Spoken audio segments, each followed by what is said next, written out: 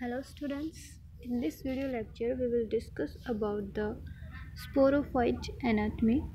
Last previous video lecture में हम sporophyte की मोफोलॉजी को देख चुके हैं leaves stem and their aerial branches as well as about the stem we have discussed in previous lectures so in this video we will discuss only about the tiers of stem or rhizome because the rhizome and stem both are same So हमने अभी पीछे पीछे जो हमारा lecture था, उसमें हमने discuss किया था कि नोड एंड इंटर नोड उन रीजन्स के बारे में हमने डिस्कस किया था। तो यहाँ पर जब हम सेक्शन कट करते हैं स्टेम का node and inter node region से तो दोनों डिफ़र करता है। कि नोड से जब हम इसका सेक्शन कट करके देखेंगे तो हमें डिफरेंट एनाटमी मिलती है। अगर हम इंटर नोड से देखते हैं तो हमें डिफरेंट मिलेगी। इन, इस वीडियो लेक्चर में हम केवल इंटरनोडल रीजन के बारे में डिस्कस करेंगे कि एनाटमी कैसे डिफ़र करती है।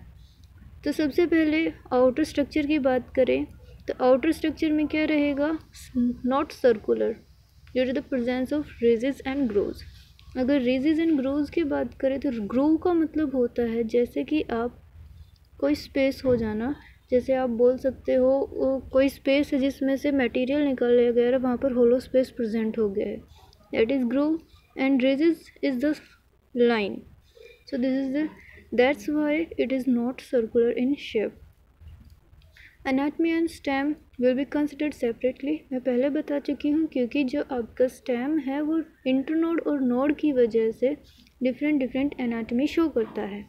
अब अब हम बात कर रहे हैं इंटरनोडल रीजन पर कैसे डिफ़र करता है।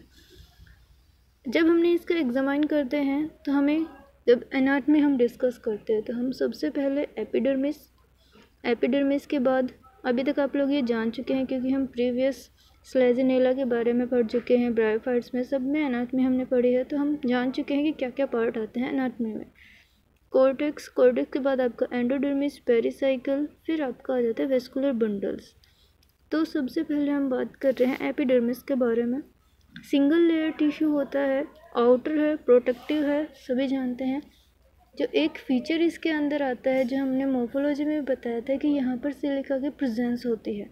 तो यहाँ पर क्यूटिकुलराइज्ड मतलब कि यहाँ पर क्यूटिकल सेल्स भी प्रेजेंट होती हैं, जिनके ऊपर सिलिका का डिपोजिशन होता है और सिलिका की वजह से जो सेल्स हैं, वो स्ट्रेथेंथ बनती हैं। और सिलिका की वजह से ही जो स्टेम है इक्विसिटम का, वो पैथोजन से प्रेडेटर से प्रोटेक्टेड रहता है। स्टोमेटा की जो सेल्स हैं, जैसे कि स्टोमेटल जो सेल्स होंगी, उनके बीच में आपको क्या मिलेंगे यहाँ पर? स्टोमेटल एपिडर्मल सेल्स में आपको स्टोमेटा की प्रेजेंस भी मिलेगी।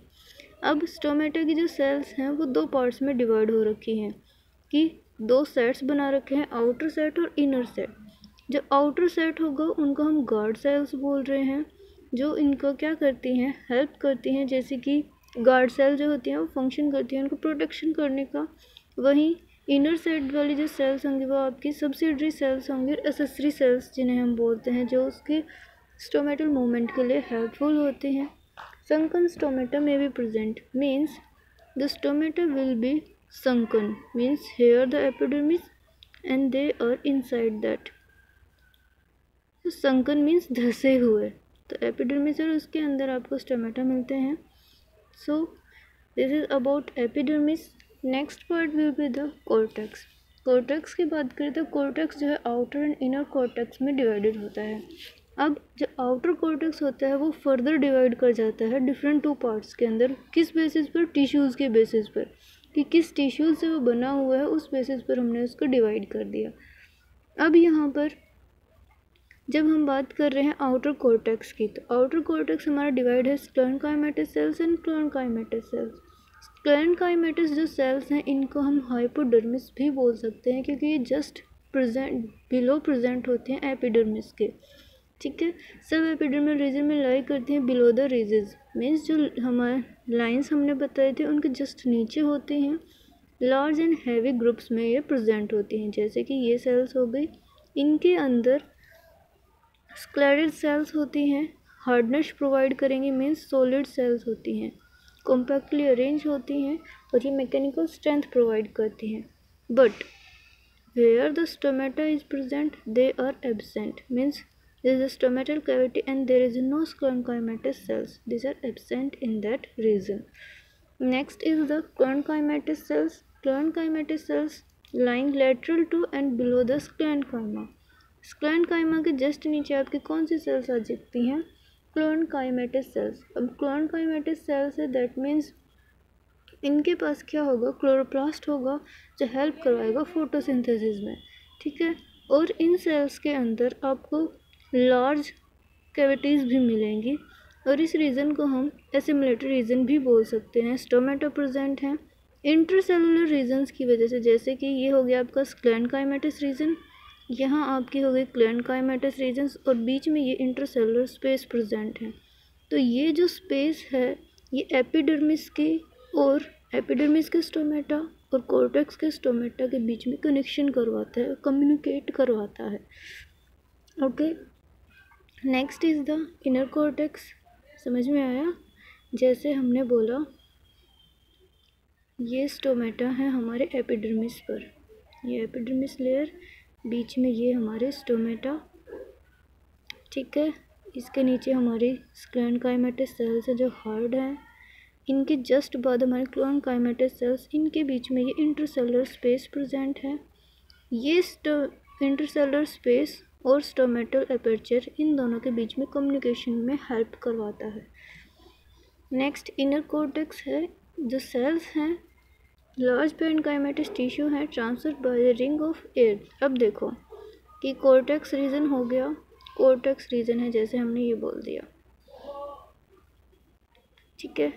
कुछ सेल्स हो गई स्क्लेनकाइमेटिस कुछ सेल्स हो गई प्लानकाइमेटिस जो कि आउटर रीजन की बात कर ली हमने। इनर जब सेल्स आती हैं, वो पेनकाइमेटिस अब पेनकाइमेटिस सेल्स हैं, जो क्या होंगी लूजली अरेंज होती हैं तो ये क्या करती हैं, इनके बीच में एक रिंग प्रेजेंट होती है एयर की। एयर की रिंग जो है, उसका हमने नाम दिया है वेलिकुलर कैनाल्स ठीक है?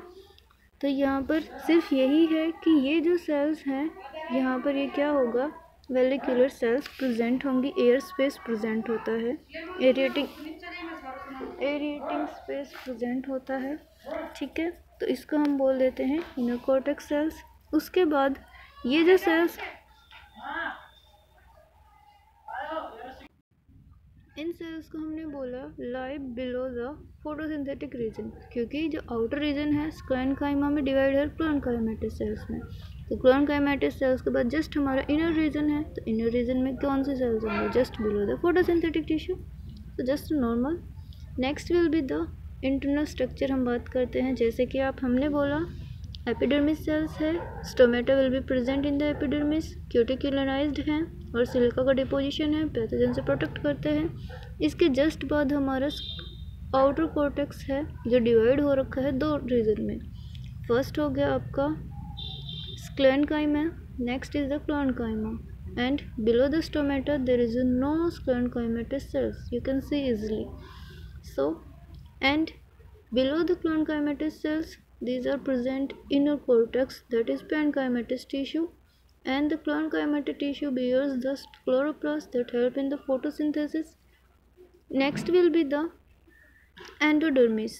Single layer endodermis will be present and endodermis bear the Casparian strips that helps Casparian thickening that helps in the transport of water and water and minerals.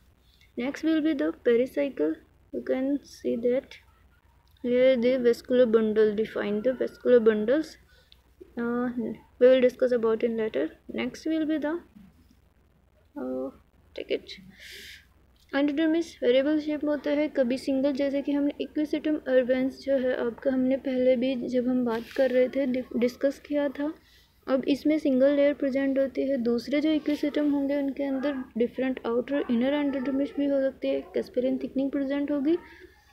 Next region is vascular bundles और हम कह सकते हैं steel steel के अंदर आपका pericycle भी आ जाता है। Single layer pericycle outermost layer of stele Steel consists of a well-defined ring of small vascular bundles. Large pith is present, that is steel. हमने बात की थी यहाँ पर आपका साइफेनो स्टील भी हो सकते हैं प्रोटोस्टील भी। अब यहाँ पर जो इक्कीस इक्विसिटम है वो साइफेनो स्टील है। That means there is a presence of pith pith की प्रजेंस है यहाँ पर। अब अगर वेस्कुलर बंडल्स की बात की जाए तो किस टाइप के हैं? Conjoint collateral and endarch and what is conjoint collateral conjoint and collateral का मीनिंग है कि जो आपके जैलम एंड फ्लोएम है, दोनों जॉइंटेड हैं सेम रेडियस पे है। फ्लोएम और जाइलम कोलेट्रल की बात की गई कि दोनों जो है आपके इकट्ठा है फ्लोएम आउटर साइड होगा और जाइलम आपका कहाँ होगा? नीचे की साइड फिर हमने बात कर दी एंडार्क होगा मीन्स कि आपको प्रोटोजाइलम नीचे होगा और मेटाजाइलम ऊपर साइड होगा मीन्स पेरिफ्री की तरफ़ होगा. They lie just the beneath the ridge and alternate in position with vallecular cells vallecular cells जिनको हमने एरिएटेड सेल्स बोला था, उनके जस्ट जो रिजेस हैं, जो लाइंस बनी हुई उनके जस्ट अल्टरनेट में होंगे कहीं वेलिकुलर सेल्स, फिर आपके वेस्कुलर बंडल्स, फिर वेलिकुलर सेल्स, फिर आपके सेल्स हैं। उसके जस्ट बाद वेस्कुलर बंडल्स जो हैं, एक क्रेनियल कैविटी प्रेजेंट होती है, वाटर फ़ील्ड कैविटी, जैसे कि आप इस डायग्राम में देख सकते हो, यहाँ पर आपकी क्रेनियल कैविटी प्रेजेंट है। ये जो क्रेनियल कैविटी है, ये कैसे बनती है? स्काइजोजिनस एक्टिविटी की वजह से। स्काइजोजिनस एक्टिविटी हम बहुत बार डिस्कस कर चुके हैं स्प्लिटिंग ऑफ़ सेल्स की वजह से जो सेल्स बनती हैं। उनको हम बोलते हैं schizogenous cells water filled cavity है। As I mention the schizogenous in origin help in conduction canal का फ़ंक्शन क्या है? कंडक्शन करवाना so we can also say that conduction channel there is no cambium so no no secondary growth so the vascular bundles are will be closed xylem is v shaped v shape का मतलब आप समझ गए होंगे v shape here the protoxylem and here the metaxylem and after that the phloem tissue so v shape type of xylem tissue is present आपको समझ आ गया next जो है आपका आ जाता है पिथ पिच जो है, कैसा होगा? प्रेजेंट है। यंग स्पेसिमेंस एंड एबसेंट हो जाता है। मेच्योर सेल्स के अंदर होलो कैविटी होती है। ठीक है? आई होप आपको इंटरनोडल रीजन जो सेक्शन है, उस टाइम का वो समझ आ गया होगा। नेक्स्ट हम जो है नोडल रीजन के बारे में डिस्कस करेंगे कि जो नोडल रीजन है, वो इंटरनोडल रीजन के एनाट में से कैसे डिफ़र करता है। Okay all the best